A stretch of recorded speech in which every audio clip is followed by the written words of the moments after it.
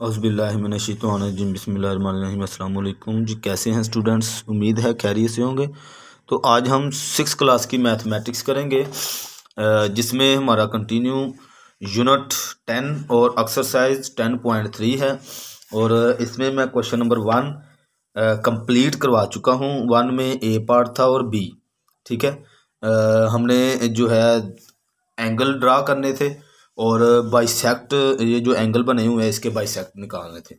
अगला क्वेश्चन है using ruler and compass अब यहाँ पे भी वो क्वेश्चन दूसरे में कह रहा है कि कंपास और रूलर को यूज़ करते हुए construct angle twice the measurement of the angles given in question one B part one and two वो कहता है बी पार्ट में जो आपको वन और टू दिया गया है उसका आपने एंगल ड्रा करना है कंसेक्शन करना है, लेकिन ट्वाइज हो। मतलब यानी कि अगर पैंतालीस का एंगल है तो वो नब्बे का एंगल हो। अगर नब्बे का एंगल है तो वो एक सौ अस्सी का एंगल हो। ट्वाइज करना है, यानी उसका दो गुना, दुगना करना है। तो हम करते हैं इसका जो पहला एंगल है, वो पन फोर्टी फाइव का फोर्टी फाइव डिग्री का है। तो हम क्या करेंगे? रूलर और कंपास की मदद से हम यहाँ पर आपने क्या करना है? एक लाइन ड्रा करनी है। ठीक है जी। Part one question number two में इस तरह से एक लाइन आपने ड्रा की। अपनी मर्ज़ी से जितनी मर्ज़ी आपने कर लेनी है, ठीक है? और एक पॉइंट हमें ये हो जाएगा, एक पॉइंट हमारे पास ये हो जाएगा, इसको मैं एक ओ का नाम दे देता हूँ, इसको मैं ए का नाम दे देता हूँ, ठीक है जी?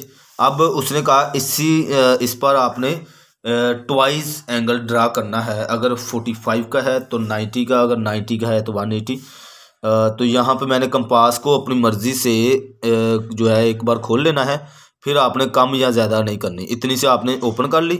फिर आपने इस ओ को मरकज़ मानते हुए आपने एक आर्क ड्रा करनी है। ठीक है जी? इस तरह से आपने एक आर्क ड्रा कर लेनी है। अच्छा।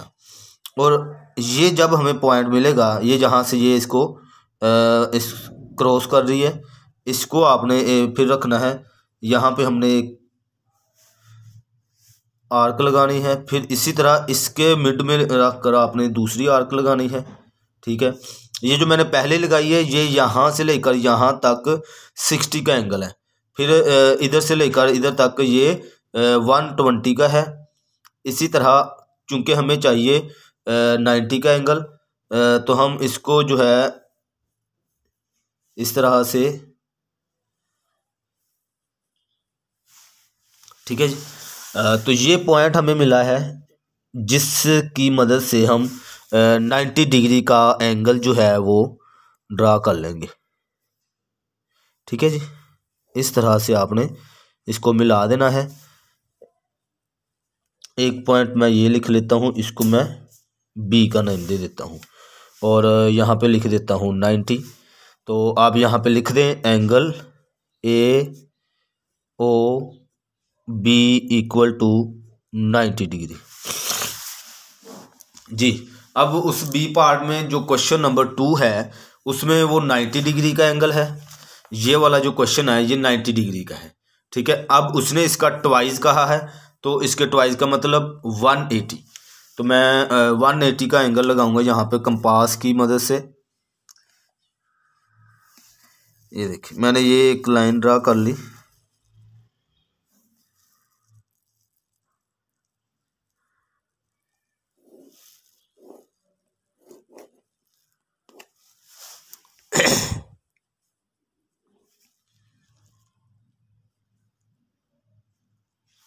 ये एक लाइन आपने ड्रा कर ली, इसको आप ओ का नाम दे लें, इसी तरह इसको आप ए का नाम दे लें। अच्छा वन एटी का आपने एंगल ड्रा करना है। आपने कंपास को ओपन किया, अपनी मर्ज़ी से, जितना मर्ज़ी। और ओ पॉइंट पर रखा, एक आर्क ड्रा की।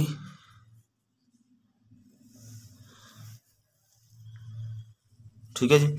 अब ये पॉइंट एक मिला है हमें, ये वाला पॉइंट इस पॉइंट की मदद से हमने सिक्सटी का एंगल लगाना है। ये सिक्सटी का एंगल हो गया, ये यहाँ पे। इसी तरह हमने दूसरा जो होगा, ये वाला, ये वन ट्वेंटी का होगा। तो यानी हर यहाँ से लेकर यहाँ तक सिक्सटी का फासला है हर एक के दरमियान में। लास्ट में आपने ये यहाँ पे क्रॉस करेगी। ठीक है जी। आपने क्या करना है? ये जो पॉइंट हमें मिला है, इसको हम इस पॉइंट से गुजारते हुए मिला देंगे, ताकि हमारी जो एंगल है वो कंप्लीट हो जाए।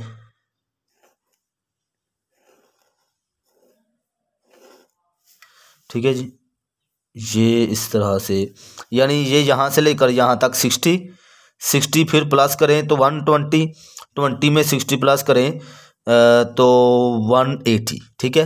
क्योंकि उसने हमें डबल कहा था, इसलिए ये हमारा जो है वन एटी का एंगल बनेगा, ठीक है? तो यहाँ पे आप बता भी सकते हैं, एंगल इसको मैं नाम दे देता हूँ बी का, angle A O B equal to one eighty degree, ठीक है जी? तो ये इस तरह से आपने जो उसका ट्वाइस करना था पेपर में इसी तरह वो आपको दे सकता है, वो थर्टी का एंगल दे सकता है थर्टी के एंगल को वो कहेगा, इसका ट्वाइस करे तो आप क्या करेंगे, उसका सिक्सटी का एंगल बना देंगे, ठीक है? बहुत सिंपल बहुत ये आसान तरीके से आपने एंगल जो ड्रा कर लेने हैं। आगे इसका क्वेश्चन नंबर टू था सॉरी क्वेश्चन नंबर थ्री इसमें वो क्या कहता है divide the following angles to four equal parts using ruler and compass वो कहता है, कंपास और रूलर की मदद से आपने क्या करना है? ये जो मैंने आपको गिवन एंगल दिए हैं, इसको आपने फोर इक्वल पार्ट में डिवाइड करना है। ठीक है जी? हम करते हैं बहुत सिंपल तरीके से आपने जो है करना है। कोई इसमें वो बंडल नहीं है। बहुत आसान। जी, सबसे पहले आपने जो काम किया इसमें ई को आपने मरकज़ मान लेना है। जैसे हमने क्वेश्चन नंबर वन में बी पार्ट किया है ना, उसको दो बराबर हिस्सों में करना था, इसको जो है चार बराबर हिस्सों में करना है। तो आपने सबसे पहले एक आर्क ड्रा कर लेनी है इस तरह से। ये मैंने ई को मरकज़ मानते हुए मैंने एक आर्क ड्रा कर ली है। ठीक है जी? एक पॉइंट ये मिला है। और इधर से एक पॉइंट हमें ये मिला है। ठीक है जी? इसको मैंने आर का नाम दिया था पहले भी। मैं ये सेम नेम दूँगा।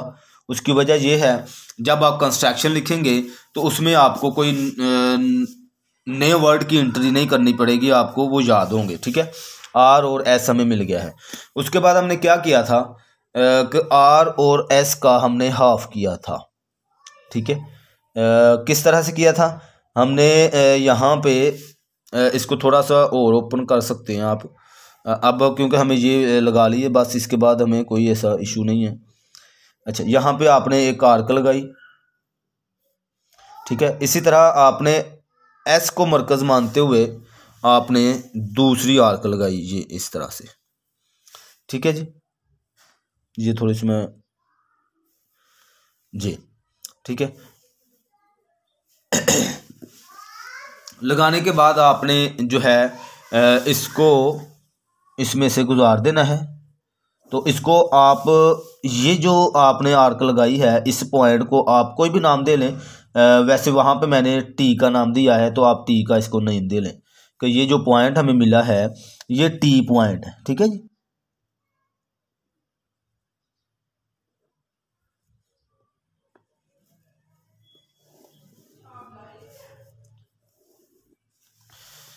यहाँ से लेकर यहाँ तक हमने ये जो लाइन ड्रा की है, इसको मैंने यहाँ पे यू का नेम दिया था। ठीक है? ये जो पॉइंट है, ये हमें यू मिला है। ठीक है? यू पॉइंट इसके बाद चूँकि उसने हमें दो बराबर हिस्सों में नहीं कहा, उसने कहा फोर इक्वल पार्ट तो चार हिस्सों में हमने डिवाइड करना है। ये जो पॉइंट यहाँ से ये क्रॉस कर रही है, इसको भी हम कोई नेम दे लेंगे। इसको मैं नेम दे लेता हूँ।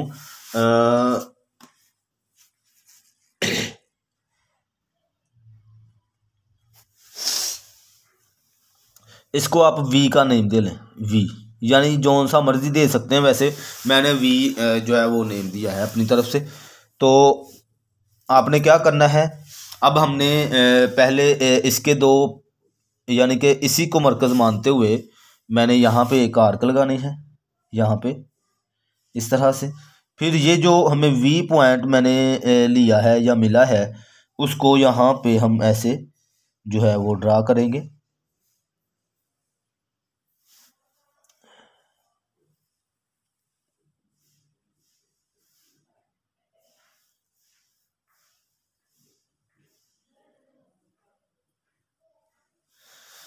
ठीक है जी? थोड़ा छोटा इसे हम कर लेते हैं।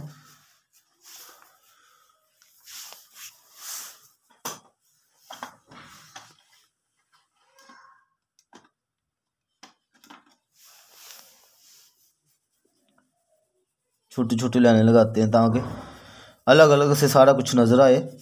हमारा जो क्वेश्चन है वो गलत ना हो। ठीक है जी?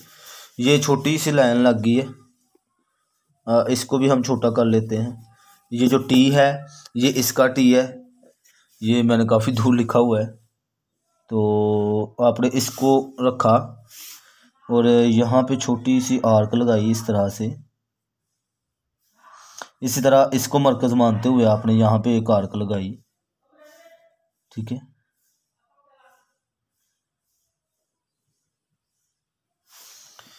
इसी तरह आपने इस साइड पे भी आर्क लगानी है, यहाँ पे ऐसे।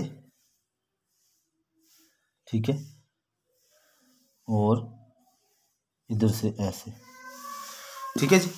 ये जो हमें पॉइंट मिले हैं, इसको हमने मिला देना इसको आप जो है, वो जो सा मर्ज़ी नाम दे लें आप चाहें तो इसको मैं जी का नेम दे लेता हूँ। ये जो पॉइंट हमें मिला है, ये मैं जो मिलाने लगा हूँ, इसको ये हमारा मेन पॉइंट है। इसके साथ ये एक पॉइंट इसको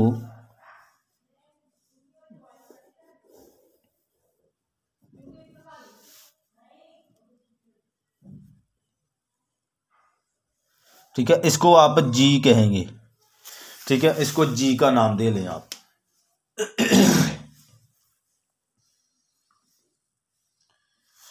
और इसी तरह आपने क्या करना है, इसको, ये जो पॉइंट हमें मिला है, इसको आप पी का नेम दे लें।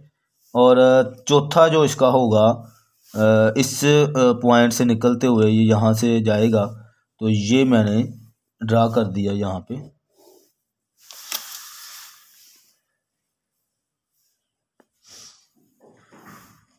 क्यू का नेम है ये। ठीक है जी?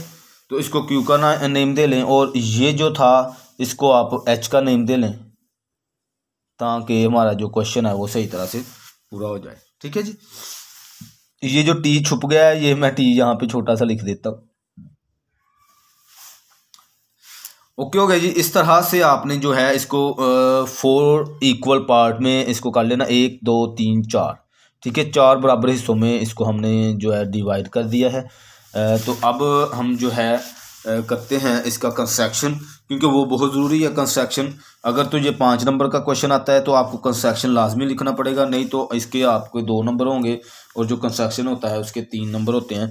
तो एक दफ़ा में जो याद कर लेंगे आप, वही आपने जो है, वो लिखना होता है। इसमें कोई वो मुश्किल नहीं होता। आपने सबसे पहले क्या किया ई को मरकज़ मानते हुए सबसे पहले आपने एक आर्क लगाई, जिसको आर और एस का नेम दिया। तो आप सेम ऐसे ही लिखेंगे draw an arc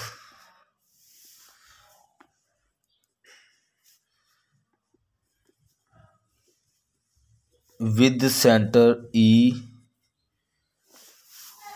which यानी जिसने कट किया है विच कट ई डी को आर पर आप, उसने कट किया है। E D at point R and at E F पर उसने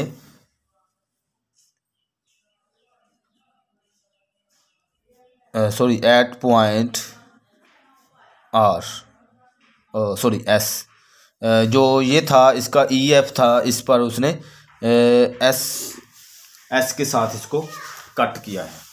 ठीक है जी? अब आपने क्या करना है? नंबर टू इसका पार्ट क्या होगा? आपने उसके बाद इसको मरकज़ मानते हुए आर को और एस को। ये वाला टी वाला जो हमें पॉइंट मिला था, ये आपने आर्क लगाई थी दो। तो आपने वैसे ही लिखना है जो जो आपने यहाँ पे किया है। तो विद आर एंड एस उसे बताया, आर और एस को हमने जो है एज सेंटर माना एज सेंटर ठीक है जी? और क्या किया? ड्रा एन आर्क्स यानी हमने आर्क्स लगाई, क्योंकि दोनों तरफ़ से हमने लगानी, इसलिए आर्क्स लिखा। जिसने एक दूसरे को कट किया था which cuts each other at point कौन सा पॉइंट मैंने नाम दिया? टी अब आपको समझ आ रही होगी कि मैंने ये जो नेम दिए हैं, ये मैंने नेम क्यों दिए हैं? ठीक है, उसको बताने के लिए कि भाई मैंने जो आर्स लगाई हैं, जो मैंने आर्स लगाई हैं, वो उसको टी पॉइंट पर हमने कट किया है। ठीक है? इसी तरह नंबर थ्री पे आप उसे बताएँगे कि आपने उसके बाद क्या किया था? ये जो लाइन है, ये आपने ड्रा कर दी थी यहाँ तक। ठीक है? इसको ड्रा किया था तो आप उसे बता दें कि मैंने जो ई ड्रा ई यू यानी ई से लेकर आपने यू तक उसको ड्रा किया ई यू और यहाँ पे एरो का निशान लगा दें ताकि उसे पता चले कि ई यू जो है आगे तक जा रहा है, वो आप उसे बता देंगे, ठीक है? और इसने जो है passing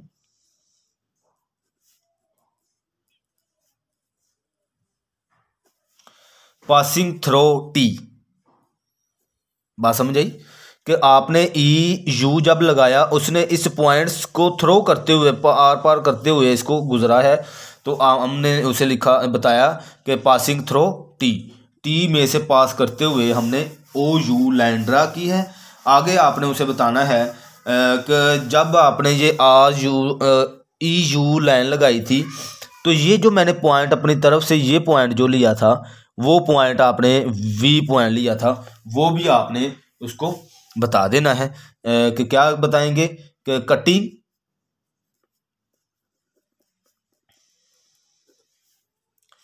the arcs are R S R S. ये जो आर एस वाली लाइन है यानी आर्क है, इसको आपने कट करते हुए एक पॉइंट जो हमें मिला था एट पॉइंट क्या नाम मैंने उसे दिया है? वी का। तो आपने यहाँ पे ये देखें वी लिख दिया कि मैंने उसे कट करने के बाद उसे वी का नेम दिया है। ठीक है जी? नंबर फोर पे आपने क्या किया? आपने आर और वी आर को और वी को आपने मरकज़ मानते हुए ये दो आर्क्स लगाई थी। ठीक है? इसी तरह आपने लिख देना है विद आर एंड वी। ठीक है? ये वी वाला पॉइंट है जो। वी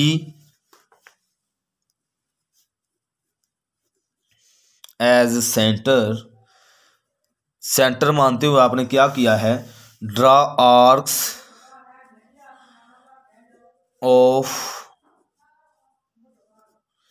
equal radius के साथ आपने यानी कि कंपास को आपने चेंज नहीं किया, एक जैसे रेडियस के साथ उसको आपने कट किया है।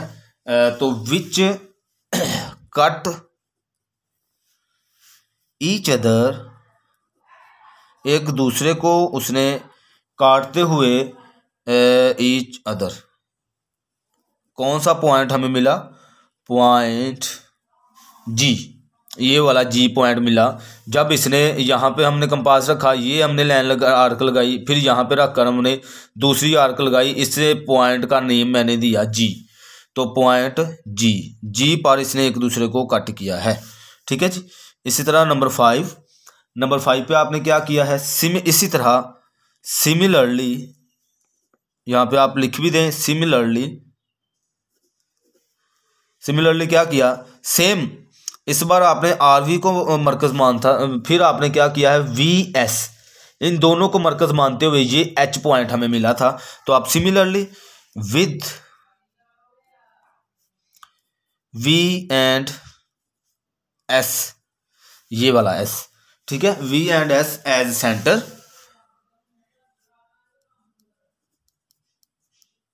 centre मानते हुए आपने क्या किया? ड्रा आर की draw arcs of equal radius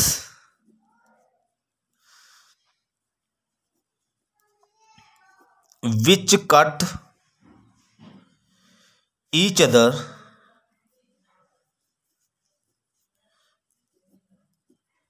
each other at point क्या नाम दिया था? H at point H H पर इसने एक दूसरे को कट किया है। तो एंड पे हमने क्या किया? एंड पे जब ये कट हो गए तो उसके बाद हमने ई पी e जो था, वो हमने ड्रा कर दिया जो कि जी से गुजरता हुआ बना, और ई e क्यू उसको ऐसे ही बता दें कि हमने ई e पी और ई क्यू भी ड्रा किया है तो उसको मैं यहाँ पे नंबर सिक्स पे बता दूँगा कि ड्रा ई पी ये इस तरह से, ठीक है? एंड दूसरा कौन सा था? ई e क्यू तो ई क्यू आपने ड्रा किया है, इस तरह से लाइन लगाई है, ठीक है? जो कि पासिंग थ्रो कर रहा है, किसको? एक दफ़ा जी को और एक दफ़ा एच को कर रहा है। तो पासिंग थ्रो दी पॉइंट कौन कौन से हैं? जी एंड एच ठीक है? रिस्पेक्टिवली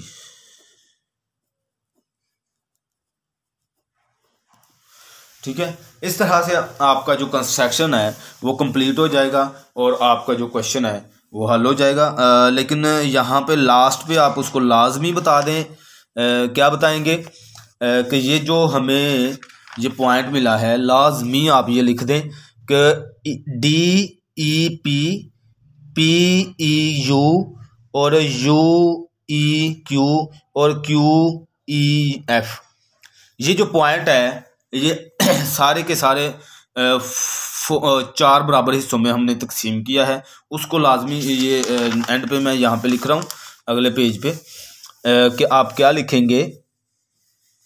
दस angle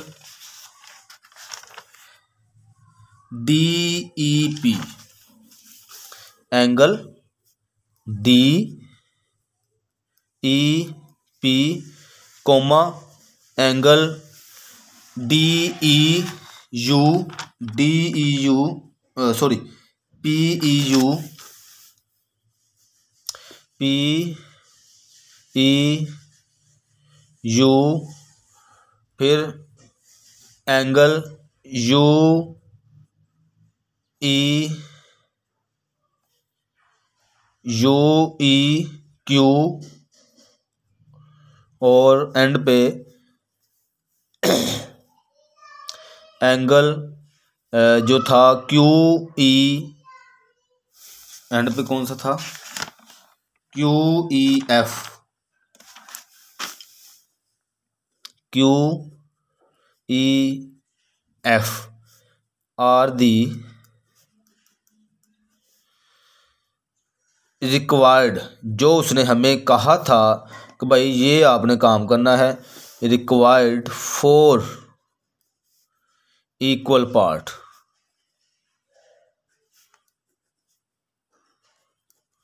four equal parts ठीक है जी? आ, और कौन सा एंगल था? ई डी क्यू था। आ, तो आपने उसे बता दें ऑफ़ दी गिवन जो उसने हमें गिवन किया हुआ था। आ, कौन सा था? D E F D E F ठीक है जी? ये वाला जो पहला था, ये डी ई एफ़ हमें उसने रिक्वायर्ड था, ये दिया हुआ था। इसमें से हमने चार इसको बराबर हिस्सों में तकसीम किया है। तो इस तरह से आपने जो जो काम किया, वो आपने यहाँ पे लिख देना है। ठीक है? लेकिन लिखना असल में इंग्लिश में है। तो वो आपको शायद ऐसे लग रहा होगा, पता नहीं ये क्या चीज़ है। है कुछ नहीं, एक दफ़ा याद करेंगे आप। ऐसे फ़ौरन से आपको याद हो जाना है। इसमें कोई मुश्किल नहीं है। अब हम करेंगे इसका पार्ट टू पार्ट टू का ये एंगल है। ये मैं एंगल जो है वो बना लेता हूँ। ठीक है ना? जी तो ये मैंने जो है वो एंगल जो बना हुआ है, वो मैंने अंदाज़न यहाँ पे ड्रा कर लिया है। आपने भी ऐसे ही ड्रा कर लेना है पहले, क्योंकि उसने ऑलरेडी हमें दिया हुआ है। उसी को हमने जो है फोर इक्वल पार्ट में डिवाइड करना है। तो आप सबसे पहले इसमें जो काम करते हैं, वो सबसे पहले आप इस के को मरकज़ मानते हुए इस तरह से एक आर्क ड्रा करते हैं इस तरह से। ठीक है जी? तो दो पॉइंट हमें मिल जाते हैं। एक पॉइंट ये मिला है और एक पॉइंट ये मिला है। इसको मैं अक्सर आर का नाम देता हूँ और इसको एस का। ठीक है? तो उसके बाद आपने क्या किया था? कंपास को आप कम ज़्यादा आप कर सकते हैं, इसमें कोई इशू नहीं है। बस ये आपने एक बार कर लिया। अब आपने यहाँ पर एक आर्क ड्रा करनी है। ठीक है जी। और इस पॉइंट को भी मरकज़ मानते हुए आपने दूसरी आर्क ड्रा करनी है। ये इस तरह से, ठीक है। और इसको जो है थोड़ा सा हम छोटा कर लेंगे, उसकी वजह ये है कि फिर ये एक दूसरे के साथ जो है एक हिसाब से जफिया डाल रहे होते हैं, जुड़ जाते हैं तो वो जो है नहीं, फिर समझ नहीं आती। तो आपने इसको जो है वो ड्रा कर लेना है एक दफ़ा में।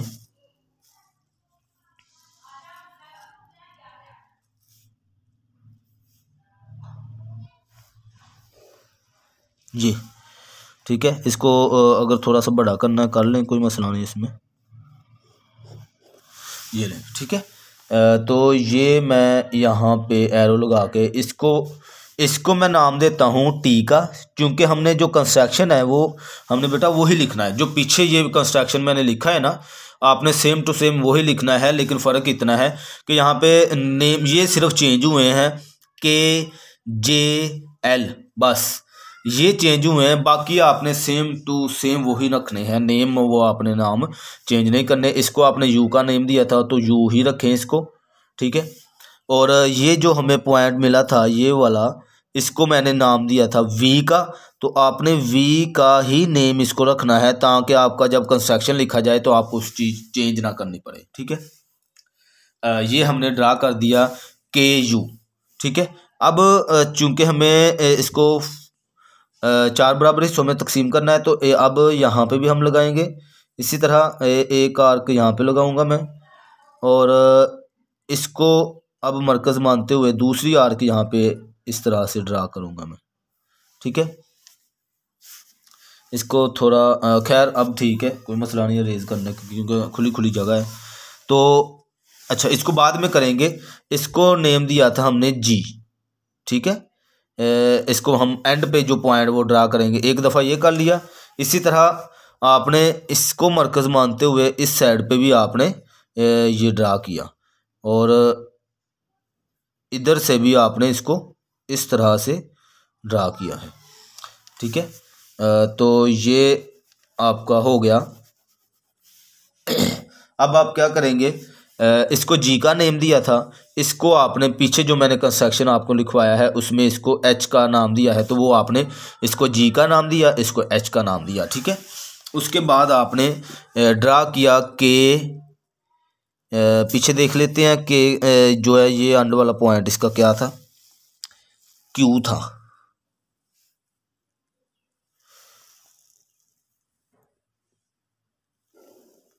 ये यहाँ पे मैंने ड्रा कर दिया।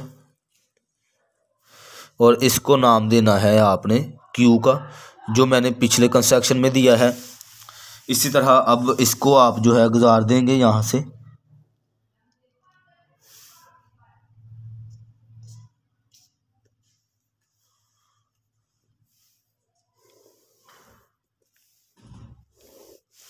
ठीक है जी। और इसको आपने नेम दिया था पी का। ये मैंने इसको पी का ही नेम दिया है। ठीक है? इस तरह से ये जो है हमारी जो शेप थी वो चार बराबर हिस्सों में तकसीम हो गई है। तो आपका जो एंड वाला पॉइंट वो मैं यहाँ पे लिख देता हूँ। वो जो ये आपने, ये वाला जो लिखा है, वो मैं लिख देता हूँ। बाकी जो है आप ऊपर से सेम टू सेम कॉपी करते आना है।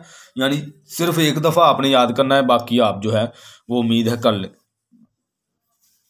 एंड पे आपने क्या लिखना है? दस, जे, के, पी। एंगल जे, के और पी।